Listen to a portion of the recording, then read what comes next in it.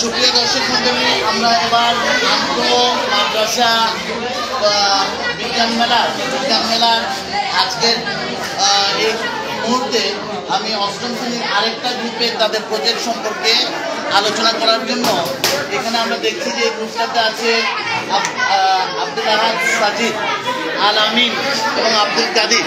কে আমাদের সাথে কথা বলতে চাও? নাম বলে? আহম্মদ আলী সাজিদ। তো আমরা আজকে আহম্মদ আলী সাজিদের কাছে তার প্রজেক্ট সম্পর্কে জানতে চাইব? আহমদ আলী সাজিদ।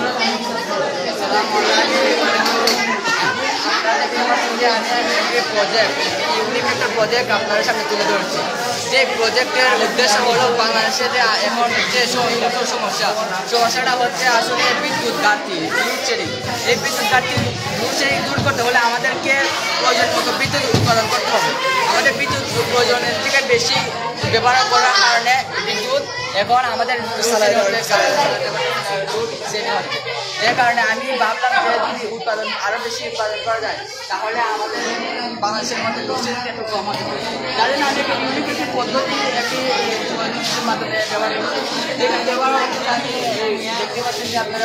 এটা হচ্ছে একটা ক্রিস্টাল উপাদানের একটি ইলেকট্রিক বাইচ ফ্রিজের ফ্রিজের ইলেকট্রিক বীজ যেটা বিদেশের মধ্যে বিজ্ঞানীরা কোনো গবেষণা চালিয়ে যাচ্ছে এটার ব্যাপারে।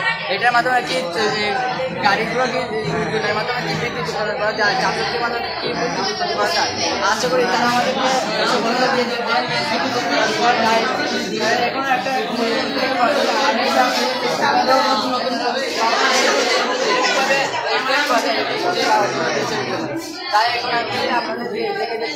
এটা যখন একটি ট্রেন এটার উপর যাবে ট্রেকের উপর যাবে।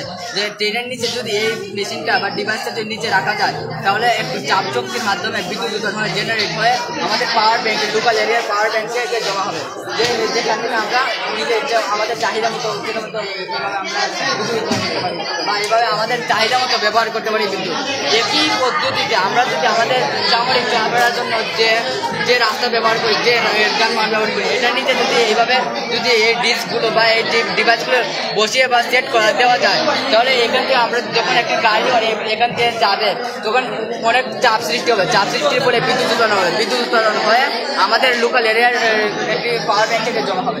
যেখান থেকে আমরা আমাদের চাহিদা মতো এটা ব্যবহার করতে পারব ইউজ করতে পারব।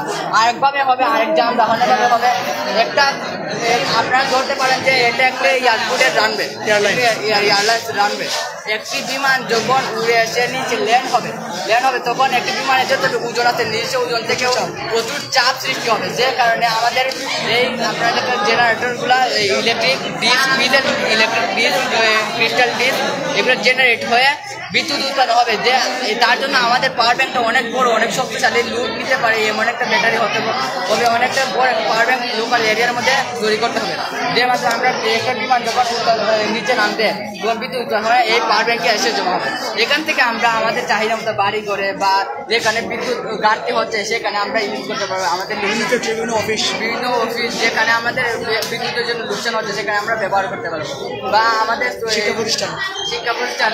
আমাদের আজকাল শিক্ষা প্রতিষ্ঠানের মধ্যে শিক্ষার্থীরা যখন সন্ধ্যায় পড়তে বসে, যখন শ্রেণির কারণে এখানে আমাদের পড়তে বসতে একটু হচ্ছে পড়ালেখার সমস্যা হচ্ছে এই বিদ্যুৎ আমার এই প্রজেক্টটা সফল হয় তাহলে বিদ্যুৎ ঘাটতি অনেকটা বাংলাদেশের মধ্যে কমে যাবে অনেক সহজে বিদেশের বিজ্ঞানীরা এখনও এটা নিয়ে গবেষণা চালাচ্ছে।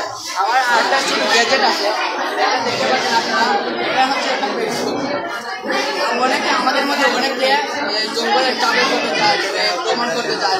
যখন যখন আমাদের একটা রাস্তাতে যাব, তখন যদি চারিদিকে যদি গাছ পালা থাকে, তাহলে সে আমরা রাস্তাটা কীভাবে দেখব আপনারা যদি এখান থেকে দেখতে পাচ্ছেন যে, এখান থেকে দেখলে এখান থেকে দেখা যায়। যদি আপনাদের, আপনারা যদি এখান থেকে দেখেন, আপনারা যদি এখান থেকে দেখেন, তাহলে এদিকে দেখতে পাবেন। এটা হলো একটা সিম্পল আর এখানে মধ্যখানে একটা স্ক্রপিং সিস্টেম থাকবে যেটা আপনি ইচ্ছা করলে অনেক লম্বা করতে পারবেন অনেক লম্বা উপরে যদি সাইডে আপনি কি আছে আপনি যে একটা জঙ্গলে যাবেন চারিদিকটা না দেখলে আপনার কীভাবে যান রাস্তা কীভাবে ঢোকাবেন এইটার মাধ্যমে আপনি অনেক উপর দিয়ে একটা রাস্তা দেখতে কোনো পাহাড়ের উপরে ওটা ছাড়াই আপনি এখান থেকে নিচে দেখবেন আর অনেক উপরে আপনি একটা দেখতে পাবেন যে আমাদের সাইডে কোনো রাস্তা আছে কি না। এটা হলো আমার একটা ভিডিও তৈরি করা হয়েছে। এটা কাঁচের মধ্যে কাঁচ দুই হয়। কাঁচ দুই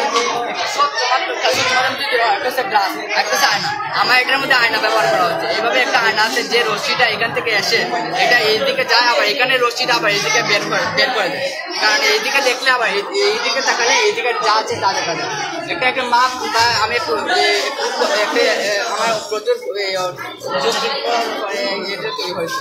আমার একটা আরেকটা আছে, এটা হলো থ্রি ডি আপনাদেরকে এখন মাঝে দেখাতে গেলে একটা মোবাইল লাগবে যে হ্যাঁ আমি দেখাতে পারব।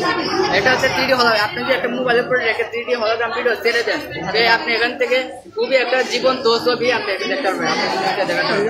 আচ্ছা আপনারা এটা আমি আপনাদেরকে দেখাচ্ছি এখন। তা আপনাদেরকে আমি এখন প্রমাণ করে আপনি যদি এখন ব্যাকটা বাড়িয়ে পুরো আছে ব্যাকে যদি আপনারা এখান থেকে দেখেন যে দেখবেন যে জীবন্ত একটা জীবন্ত একটা বুড়া নিচে নড়তেছে বেতন দেখতে পাচ্ছেন আপনারা এখানে দেখতে পাচ্ছেন যে একটা জীবন্ত ছবি নজরে করতেছে আপনি বাতিটা অফ করে বাতি অফ করা ছাড়া এই হয় আপনার এখানে দেখতে পাচ্ছেন একটা জীবন্ত একটি হলোগ্রাম আপনার রাখতে পারবেন বা এখনও অনেকে যে কম্পিউটার এগুলো আপনারা স্যার এগুলো অনেক, অনেকে স্যার কম্পিউটার আছে, যে এগুলো অনেক অনেকে এগুলো স্যার